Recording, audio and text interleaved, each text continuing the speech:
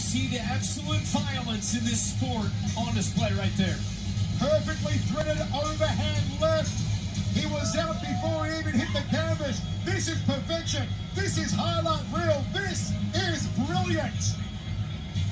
The precision, the accuracy, and the power of Semapetch Fairtex.